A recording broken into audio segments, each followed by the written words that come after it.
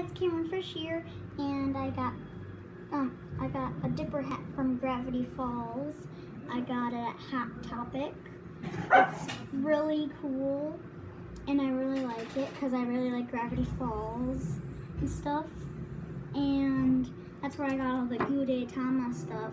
And I put all of the garbage and all the Gudetama stuff inside of one tiny little box. Yeah, and then for the new Bendy channel, I got this bow tie that is covered in ink, not real ink. It's meant for Bendy and the Ink Machine. And I just got a lot of stuff with Hot Topic. Tried playing the call game for a squishy poop toy, and it was really funny.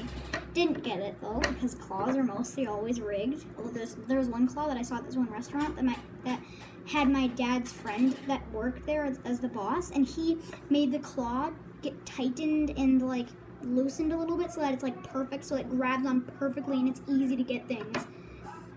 And we got a whole I got a whole bunch of like geometry dash characters and stuff from it that were like plushies, but it was at my dad's house, so yeah. And it was awesome. But I just really wanted to talk about this hat and stuff like that. So it's blue with a blue pine tree, just like in the show. Blue on this side, white with on this part with a blue pine tree, and then blue on this part again. I just really like it because it's Dipper's hat. So this has been Cameron Frisch. Stay childish.